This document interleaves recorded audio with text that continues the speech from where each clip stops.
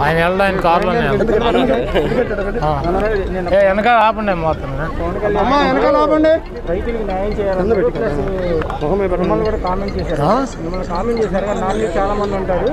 ఆ. రోడ్లింగాలు రోడ్లింగం లాగా ఓ నిన్న యాక్టర్ యాక్టర్ యాక్టర్ వచ్చిందా? అవునండి. కానీ పనులు మాత్రం చేయట్లేదు. నియోజకవర్గాలని చెప్తున్నారు. ఇప్పుడు నేను ఈ రాష్ట్ర ప్రజలకి సమాధానం చెప్పాలి. ఒక మంత్రిగా. ఒక శాసనసభ్యుడిగా గుడివాడ ప్రజలకు సమాధానం చెప్పాలి.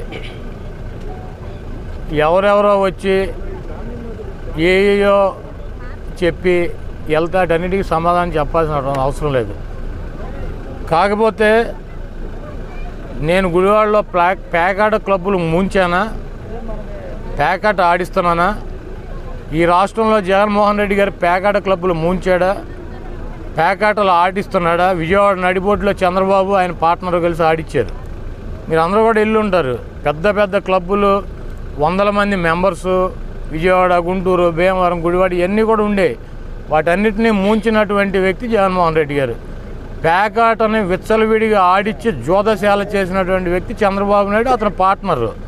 ఆ రోజు ఏమైనా నీ కళ్ళు? ఈరోజు ఏదో ఒకటి పనికిరానటువంటి మాటలు. గుడివాడ ప్రజలను అడిగితే చెబుతారు కొడల నాని పేకాట క్లబ్బులను ముంచాడా పేకాట క్లబ్బులు పెట్టించాడా అని చెప్పి. నేనేమి ఎవరి దగ్గర ప్యాకేజీలు తీసుకుని నోటికి వచ్చింది మాడతాం ఎవడో డబ్బులు ఇస్తే ఆ డబ్బులు పట్టుకొచ్చి పిచ్చ పిచ్చగా మాడతాం అటువంటి కార్యక్రమాలు చెయ్యం. నోరు అదుపులో పెట్టుకోవాలని మాకు చెప్పడం నువ్వు పెట్టుకో అదుపులో. నాకు భయం లేదు నాకు భయం లేదు మేమన్నా భయపడుతున్నావా? మేమన్నా భయపడుతున్నావా? నిన్ను ఎవడ భయపడమన్నాడు? జగన్మోహన్ రెడ్డి గారికి మమ్మల్ని మమ్మల్ని మేము భయపడమన్నావా? నాకు సిమెంట్ ఫ్యాక్టరీలు లేవు పాల ఫ్యాక్టరీలు లేవు నేను సినిమాలు చేస్తాను నాకు జీవనోపాధి నేను ఆ సినిమాలు మానేయమని చెప్పినాడు ఎవడు? ఈ రాష్ట్రంలో ఎవడన్నా వచ్చి నీ దగ్గరికి వచ్చి సినిమాలు మానేయండి మీరు అని అడిగారా? నువ్వే చెప్పావు నేను రాజకీయాల్లోకి వచ్చాను సినిమాలు మానేశానని. నువ్వే కదా చెప్పింది ఎవడో అడిగాడు నేను సినిమాలు మానేయమని? నేను సినిమాలు మానేయమని ఎవడో చెప్పలా? నువ్వే చెప్పు మళ్ళీ జగన్మోహన్ రెడ్డి గారు ముఖ్యమంత్రి అయ్యి బ్రహ్మాండంగా ఈ రాష్ట్రాన్ని పరిపాలిస్తే నేను రాజకీయాల్లో లేదు సినిమాలు చేసుకుంటానని నువ్వే చెప్పావు. నువ్వు సినిమాలు చేసుకుంటే మాకేంటి? సినిమాలు చేసుకోకపోతే మాకేంటి? నువ్వేం వదిలేస్తే మాకేంటి? ఎవరిని వదలకపోతే మాకేంటి? నువ్వు ఒక యాక్టర్గానే ఇప్పటికీ మేము గుర్తిస్తున్నాం నువ్వు ఒక యాక్టర్వే. నువ్వు సినిమాలు చేసుకో లేదా మానేసుకో. నువ్వే కదా చెప్పింది సినిమా చేస్తానని చెప్పింది నువ్వే. సినిమా మానేశానని చెప్పింది నువ్వు. ఎందుకు పనికి మాలిన మాటలు?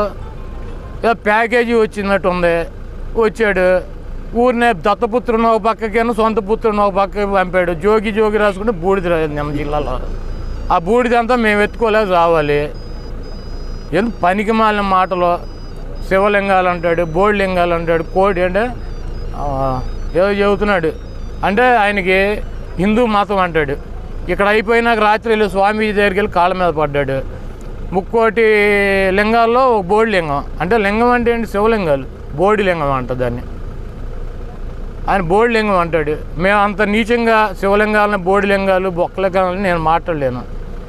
ఎందుకంటే మాకు మతాలంటే హిందూ మతమైనా క్రైస్తవ మతమైనా ముస్లిం అయినా ఏదైనా ఉంది. రాజకీయాల కోసం రాజకీయ వైశ్యలాగా శివ- శివలింగాలు ఎవరో బోడి లింగాలు ఎవరో ఈ రాష్ట్ర ప్రజలు నిర్ణయించారు. ఈ రాష్ట్రంలో శివలింగం జగన్మోహన్ రెడ్డి గారు కాబట్టి జగన్మోహన్ రెడ్డి గారిని అక్కడ కూర్చోబెట్టారు. నువ్వు బోడి లింగానివి కాబట్టి రెండు చోట్ల వాడుకొట్టి నేను ఇంటికాడ కూర్చోబెట్టారు. అయినా సిగ్గు లేకుండా నేనే శివలింగాన్ని మీరు బోడి లింగాలు అన్నారనుకో ఇంకా మైండ్ చెడిపోయినటువంటి ప్రజాశాంతి పార్టీ అధ్యక్షుడికి మైండ్ చెడిపోయింది అనుకుంటారు. రెండు చోట్ల ఓడిపోయింది ప్రజాశాంతి పార్టీ అధ్యక్షుడు. ఓడిపోయి వాళ్ళు వచ్చి ఏదేదో చెప్తాడు. ఇట్లాంటి పార్టీలు ఎన్ని వచ్చినాయి ఎన్ని గాలగర్భంలో కలిసిపోయినాయి. ఇదో కొత్త వింత. ఒక రాజకీయ పార్టీ పెట్టి ఇంత వ్యాపారం చేయొచ్చు అని చెప్పి చూపించినటువంటి ఆదర్శ పురుషుడు. వకీల్ సాబ్ చెప్పమన్నాడని జగన్మోహన్ రెడ్డి గారికి వకీల్ సాబ్ అంటే జగన్మోహన్ రెడ్డి గారికి ఏం తెలుసు? నువ్వేం వకీల్ సాబ్ అనుకున్నావు జనమేమో షకీలా షాబ్ షకీలా షాబ్ అన్నారా? నువ్వేం వకీల్ షాపు జనమేమో షకీలా షాబ్ అనుకుంటారు నిన్ను. ఏం చెప్పాలి? ఏమంటే ఒక యాక్టర్ వచ్చాడు ప్యాకేజీ పట్టుకుని ముప్పై ఐదు వేలు ఇమ్మన్నాడు. ఆయన పార్ట్నర్ మాత్రం ముంచేసినప్పుడు మొత్తం ఇంటికాడ పడుకున్నాడు. ప్యాకేజ్ తీసుకుని నువ్వే వెళ్ళి చెప్పు. స్పెషల్ ఫ్లైట్ వేసుకుని లుంగి కట్టుకుని వచ్చి గతంలో ముఖ్యమంత్రి చెప్పాడు ఇక. మేమెందుకు చెప్పటం? బోర్డు లింగాలు. నువ్వు ఉన్నావుగా బొక్కలో లింగానివి. నువ్వు వచ్చే చెప్పు. లుంగి కట్టుకుని ఫ్లష్ ఫ్లైట్ తీపోయి ముఖ్యమంత్రి గారి దగ్గరికి వెళ్ళి మాట్లాడుకో. నువ్వేం చెప్పాలనుకుంటావు ఆయన ఏం చెబుతాడో మీ ఇద్దరికి సెట్ అయింది అనుకో. బయటకు వచ్చి సూపరో డోపరో జగన్మోహన్ రెడ్డి గారు అని చెప్పి వెళ్ళిపోవచ్చు. మాకేం కర్మ? ఇట్లాంటి యాక్టర్లు పనికి మాలినాడు రోడ్లు కూడా బోల్డ్ మంది తిరుగుతూ ఉంటారు. నిన్ను ఆపాల్సిన అవసరం లేదు. నిన్ను పట్టించుకోవాల్సినటువంటి అవసరం లేదు. ముట్టడిస్తే అసెంబ్లీ. అసెంబ్లీలోకి రానివ్వరు జనం నిన్ను ముట్టడించి బయటపడేశారు నువ్వు అసెంబ్లీ చుట్టూ వద్ద ముట్టడించక లోపలికి వస్తావు. ఎవడు ఊరుకుంటాడు?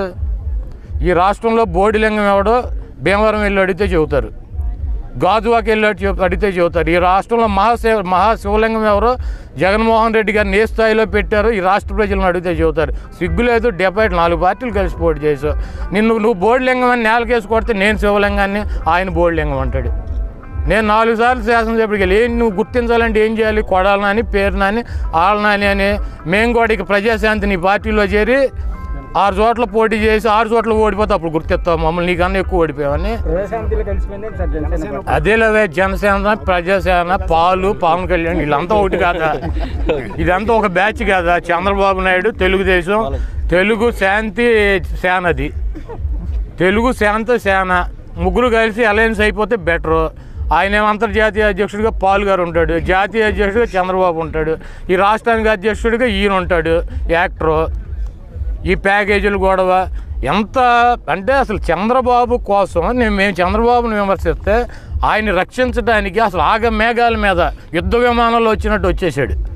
గుడివాడ బందరు ఏంది బొంగ? నువ్వు తిరిగితే ఏంది? తిరగపోతే అంటే మేము కొత్తగా రాజకీయాల్లోకి వచ్చాం నువ్వు వచ్చి ఇట్టిట్టిట్ట అనగానే గంతులు వేయగానే కుసేపు మేడ తోడ రుద్దుకోగానే జనం ఏమైనా పిచ్చాళ్ళా? నీ డ్రామాలు చూడలేదా నువ్వు ప్యాకేజ్ తీసుకుని వచ్చి చంద్రబాబు నాయుడు తరఫున మాడతావు? నీ రాష్ట్రపతికి తెలవదా? నువ్వు వచ్చింది ప్యాకేజ్ కోసం కదా. ఏం చెప్తాడు? అర్థం పర్థం లేని మాటలు.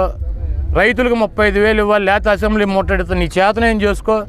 నువ్వు మాకు వార్నింగ్లు ఇచ్చి జగన్మోహన్ రెడ్డి స్థాయి అక్కడ నీ స్థాయి అక్కడ జగన్మోహన్ రెడ్డి గారికి వార్నింగ్లు ఇచ్చి ఆయన భయపెట్టే స్థాయి అనేది. జగన్మోహన్ రెడ్డి గారి చిటికిన కాలు గోరు సరి చేరి అందరూ. తిరుపతి వెళ్ళి నేనే పోటీ చేస్తా జనసేన. మొన్న వెళ్ళాడు. ఇక్కడికి వచ్చి మీటింగ్ పెట్టి మెడ రుద్దుకుంటూ కూర్చున్నాడు. రెండు గంటలు ఆళ్ళు వీళ్ళు మాడుతుంటే నేను హైదరాబాద్లో పోటీ చేస్తాడు పోటీగాడు. అక్కడికి వెళ్ళాడు. ఆ కృష్ణారెడ్డి గారు ఆధ్వర్యంలో ఒక బృందాన్ని పంపించారు బీజేపీ వాళ్ళు. లోపల ఏం మాట్లాడుకున్నారో తెలియదు బయటకు వచ్చి లేదు. అయిపోయింది. ఈరోజు సుజనా చౌదరిని కానీ సీఎం రమేష్ని కానీ ఎంపీలను కానీ బీజేపీలో పంపించినాడు ఎవడండి? చంద్రబాబు కదా. నువ్వు కేసుల నుంచి కాపాడుకోవడానికి నీ దగ్గర ఉన్నటువంటి ఎంపీలను బీజేపీలో తోలింది నువ్వు కాదు. ఈరోజు బీజేపీకి జనసేనకి అలయన్స్ చేసింది ఎవడు చంద్రబాబు కాదు. ఈయన ఎవరు పిలిచారండి అలయన్స్ రమ్మని? ఈయన చెప్పగానే ఈయనే వెళ్ళిపోయి కలిపేసి వాళ్ళతో ఈయనే బయటకు వచ్చి మేము మేము ఓటి నీకు అమిత్ షా మోడీ ఇంతవరకు ఒకసారి అపాయింట్మెంట్ ఇచ్చారా? అమిత్ షా మోడీ మీకు అపాయింట్మెంట్ ఇచ్చారా? ఇవ్వలా. అయినా నువ్వే కలిసిపోయావు. ఇప్పుడు తిరుపతిలో బీజేపీ కనుక పోటీ చేస్తే టీడీపీ థర్డ్ ప్లేస్కి వెళ్ళిపోతుంది. కాబట్టి ఆయన్ని ఎట్టో కూడా రక్షించాలి బాబు గారిని. మనకు లేకపోతే ప్యాకేజీలు రావు. కాబట్టి నేనే పోటీ చేస్తాను నేనే పోటీ చేస్తాను అక్కడ ఎవడో ఒకరిని పెట్టి గాలికి వదిలేస్తాడు. ఆ డిపాజిట్లు పోతే తెలుగుదేశం పార్టీ సేఫ్గా ఉంటుంది. నువ్వు తెలుగుదేశం పార్టీని రక్షించడానికి కాకపోతే జనసేన తిరుపతిలో పోటీ చేసి బీజేపీని కాదని దేని ఈ బీజేపీ వాళ్ళకి తెలియదా నీ డ్రామాలు నీ నాటకాలు మాయావతితో ఎందుకు అలయన్స్ అంటే ఎస్టీ ఓటింగ్ చీల్చేస్తుంది ఏనుగు గుర్తు మాయావతి గారు. అప్పుడు జగన్మోహన్ రెడ్డి గారు ఓడిపోతాడు. సిపిఐ సిపిఎం ఎందుకు పొత్తు? యాంటీ ఎస్టాబ్లిష్మెంట్ ఓటు చీలిపోతే చంద్రబాబు నాయుడు ముఖ్యమంత్రి ఎవడికి తెలియదండి నాటకాలు ఈ డ్రామా? నీ యాక్షన్ సినిమాలు చేసుకో బ్రహ్మాండంగా పైకి వస్తావు. నాలుగు డబ్బులు వస్తాయి. నువ్వు రోడ్ల మీదకి వచ్చేస్తే నా బోటాలతో తిట్లు తింటావు. అంతకన్నా ఏం వచ్చేది ఏమడదు